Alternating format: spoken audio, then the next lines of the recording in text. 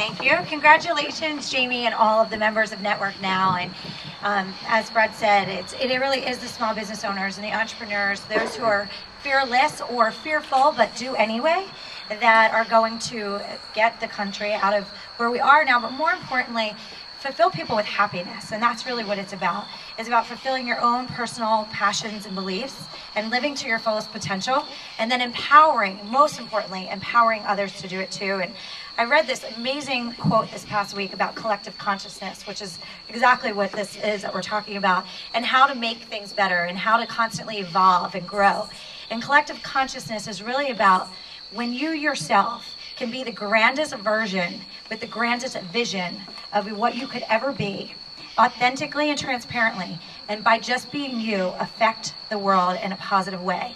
By just being you, make other people reflect on who they are and want to be a better person.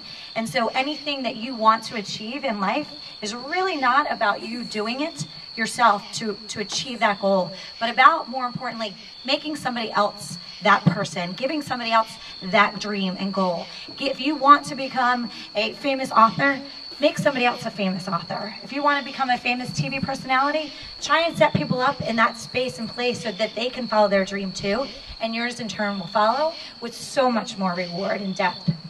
And most importantly, the mantra that I live by and the thing that set me free in my life as an entrepreneur is when I realized one day that I was so afraid of failing that it would stop me from truly following my dreams. I would take my toe out and dip it in the water and I'd step back and be like, whoa, it's kind of scary out there. What if I fail? I'm going to let myself down. I'm going to let other people down. They're going to think badly of me. I don't want to put it out there too grand yet. And I realized that all these other people were doing their dreams. They were living their dreams. And I opened up Fast Company magazine and I read about a company who had done something that I had the same exact idea and I didn't do it. And they were the ones who were reaping the rewards, the success, the happiness. They did it. They were the ones with the courage, not just the great idea. There's a lot of great ideas. It's the people that have courage and move with action that get things done. But I realized that day that feeling of regret that sat in my stomach was way worse than any failure I could ever have. And I came with the mantra at that moment that I have more fear of regret than I have a failure. And it set me free to live my life exactly the way I want to. And I learned to be comfortable with being uncomfortable constantly. so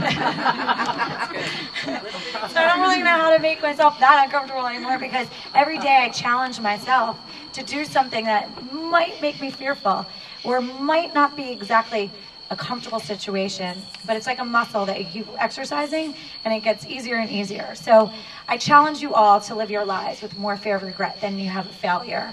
And live your dreams, not just for yourself, but more importantly, for those you inspire around you. Thank you.